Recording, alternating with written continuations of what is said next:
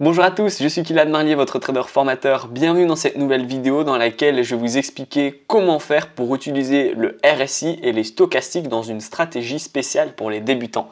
On perd pas de temps, je vous partage mon écran tout de suite. On est sur la plateforme XTB, donc Dixtation 5 que vous connaissez hein, maintenant. Et je vais du coup mettre le RSI et les stochastiques. Donc là, je vais mettre RSI, j'applique, je mets les stochastiques juste ici, SO j'applique et je vais un tout petit peu écarter le RSI et les stochastiques afin bien de voir correctement les signaux, surtout si vous êtes débutant, n'hésitez pas. Et là, comment on va faire? Eh bien, pour vous euh, expliquer très brièvement comment fonctionne le RSI, donc comme vous le savez, on a, euh, on a une graduation de 0 à 100. Entre 0 et 30, les prix sont survendus, donc ça veut dire qu'ils vont euh, bien corriger pour bien monter pour venir sur la zone de neutralité. Donc quand on est dans la zone de survente, il faut acheter. Quand on est dans la zone entre 70, donc 70 et 100, on va être dans la zone de surachat. Donc les prix sont vraiment surachetés, ils valent plus cher que ce qu'ils valent réellement. Du coup, eh bien, ils vont baisser. Donc voilà, on va travailler justement avec cette zone de surachat et de survente pour faire de, la plus-value. On a également 50 qui est le niveau de neutralité.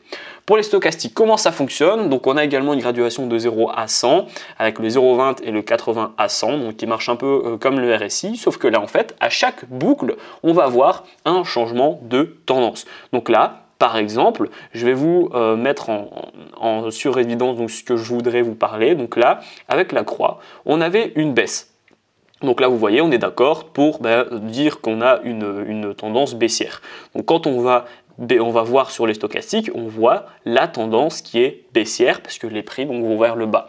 La ligne verte, elle est au-dessous de la ligne rouge. On voit la ligne rouge est au-dessus de la ligne verte. Et ensuite, lorsque la, tendance baissière est terminée, on voit une tendance haussière. Elle est juste ici, vous la voyez. Et du coup, eh bien, en fait, on le voit avec les stochastiques parce que eh la ligne verte est au-dessus de la ligne rouge, alors qu'avant, elle était en dessous lorsqu'on avait une tendance baissière. Donc là, en fait, les stochastiques, ça nous donne eh bien, euh, un signal de changement de tendance. Dès lors que les, boucles se croisent, on a un changement de tendance. Donc si on était en tendance haussière et que les boucles se croisent, on va être en tendance baissière. Et là, du coup, eh bien, on a euh, un signal actuellement, à l'heure où je, où je vous parle, on a un signal sur les stochastiques. Pourquoi? Parce que du coup, on avait une boucle, la boucle est là, on est haussier, et on a une boucle. Donc on était en tendance haussière, on a la boucle ici qui nous dit changement de tendance. Donc on va passer de tendance haussière à tendance baissière. Elle est ici, on a la tendance baissière. Et là, eh bien en fait vous voyez que la ligne verte elle était en dessous de la ligne rouge et maintenant la ligne verte elle est au-dessus de la ligne rouge. C'est un petit peu comme les moyennes mobiles, hein. c'est le même fonctionnement, je ne sais pas si vous connaissez déjà les moyennes mobiles, c'est très connu et c'est super simple également à utiliser. Mais là la ligne verte elle est au-dessus de la ligne rouge alors qu'avant elle était en dessous. Donc là on a un premier signal avec le croisement des stochastiques qui nous dit d'acheter. Alors, on aurait un second signal du RSI. Maintenant, faites attention. Donc là, on a un signal RSI. Pourquoi? Parce que les prix sont en zone de survente, donc entre 0 et 30, ce qui veut dire qu'on peut acheter parce que les prix vont remonter pour arriver dans la zone de neutralité. Pourquoi je vous dis de faire attention? Parce qu'il ne faut pas se positionner lorsque les prix entrent dans la zone de survente, mais plutôt lorsque les prix sortent de la zone de survente. Pourquoi? Eh bien parce qu'en fait, on sait quand est-ce que les prix rentrent, voilà, à l'instant, mais on ne va pas savoir exactement quand est-ce que les prix vont sortir de cette zone. Donc on pourrait très bien continuer à baisser et continuer pendant très longtemps à être dans cette zone de survente. Du coup, on va attendre en fait pour confirmer le signal également du RSI que euh, ce petit euh, point bleu là ici que vous voyez, donc la petite droite là, elle sorte de la zone euh, de survente pour ainsi à ce moment-là avoir un réel signal haussier et pouvoir viser dans un premier temps eh bien, la zone de neutralité, hein, donc la zone de 50 qui est juste ici, et ensuite pourquoi pas la zone des 70, des 70 pour eh bien, la zone de surachat. Donc là, qu'est-ce que ça donne sur le graphique? Eh En fait, on aura un potentiel achat donc le stochastique, il nous a donné euh, déjà un achat, euh, un signal d'achat. Le RSI nous donnera très probablement dans la bougie euh, prochaine le signal d'achat également. Et on pourra viser eh bien, ce niveau-ci. Pourquoi ce niveau-ci? Parce que c'est la première résistance. On l'a vu ici, ça a fait un support, on a eu un rebond technique. Donc là, eh bien, ça veut dire que lorsqu'on est en dessous du support, ça devient une résistance. Donc ça sera notre objectif. On va pouvoir probablement mettre un tel profil ici. Et lorsqu'on dézoome un petit peu le graphique, même on les zoome un petit peu, voilà, on va le mettre ici, eh bien vous voyez que on a réellement une zone de support. Voilà, je vais vous la mettre en gras, en surligné. Pourquoi? Eh bien regardez, donc je vais vous la mettre, elle est juste ici. En fait, on a un rebond technique ou un échec à plusieurs reprises. Par exemple ici, on a un rebond technique. Également, ici, on avait un rebond technique. Les prix ont baissé, mais ont rebondi grâce euh, à la zone de support. On a également ici, qui n'est pas un rebond, mais ça a fait office de résistance. Je vous rappelle, donc là, on a des prix quand les prix sont au-dessus du tracé horizontal, on appelle ça un support. Dès lors que les prix sont en dessous du euh, tracé horizontal, on appelle ça une résistance. Donc là, c'était une résistance et eh bien, les prix n'ont pas réussi. Donc ça a fait également son travail à, euh, à ce moment-là. Également, vous le voyez, ici, on a eu un support les prix ont touché ce tracé horizontal et ils ont rebondi parce que c'est un support euh, oblique. Donc là, on le voit.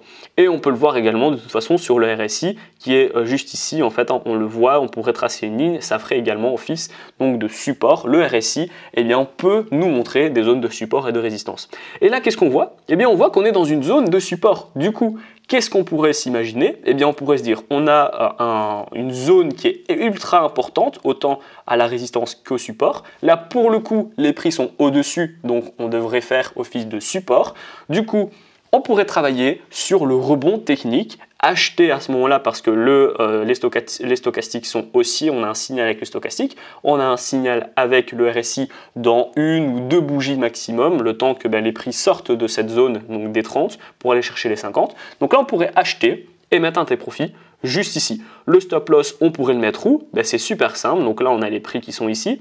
En cas donc de euh, take profit, on va avoir 48 pips. Du coup, ben là, on pourrait très bien mettre un stop loss à 20 pips. Pourquoi? Eh bien pour euh, avoir cet effet donc ratio gain-perte de 2, donc 1 pour 2.